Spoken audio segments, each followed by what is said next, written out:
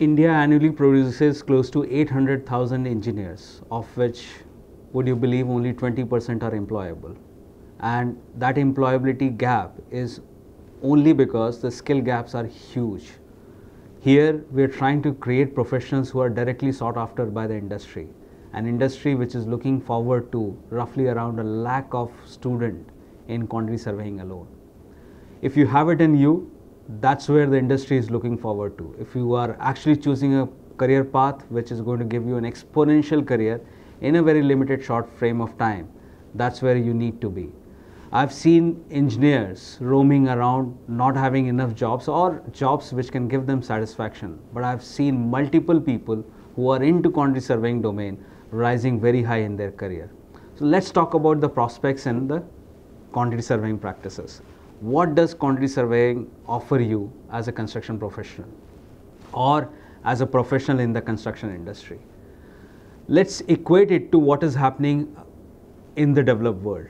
Most of the CEOs, most of the top men of organizations within the developed world are basically the people with a quantity surveying background. The reason being, not only they understand the profit and losses of the company, they actually understand the technical, commercial, and the behavioral skills required for running a business. As a quantity surveyor, you can work with a contractor, you can work with a real estate developer, you can work with a facility manager, you can work with international property consulting firms, you can work with project management consulting firms, you can work with cost consultants, you can work with valuation firms. So the opportunities are humongous.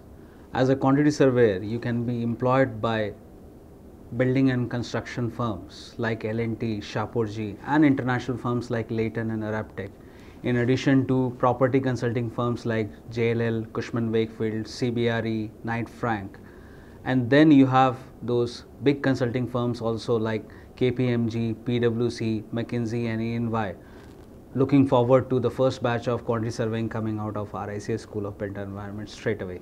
While we are talking of private sectors, we are looking at public sector also looking forward to the quantity surveys, helping them manage their projects in terms of cost and time. The packages offered generally for an untrained quantity surveyor are in the range of roughly around 4 lakh rupees per annum. Trust me, if you graduate from RICS School of Built Environment, this package is going to see a jump of minimum 50% to as good as 100% when you come out of the college. We are looking forward to and as a professional, I can talk about myself. As a quantity surveyor, when I started my career, the package was in the range of roughly around 1.5 lakh rupee per annum. For me to go from 1.5 to 60 lakh rupee per annum, it was a time frame of seven years. I think most of you can look forward to that rewarding a career at your end also. To summarize, if you want to rise higher in your career, become a CEO in a very short frame of time, because you know the technical aspects of a business, you know the commercial aspects of the business, and you know the finances very well. I think quantity surveying is the right profession you should be in. I'm looking forward to see you in the college very soon.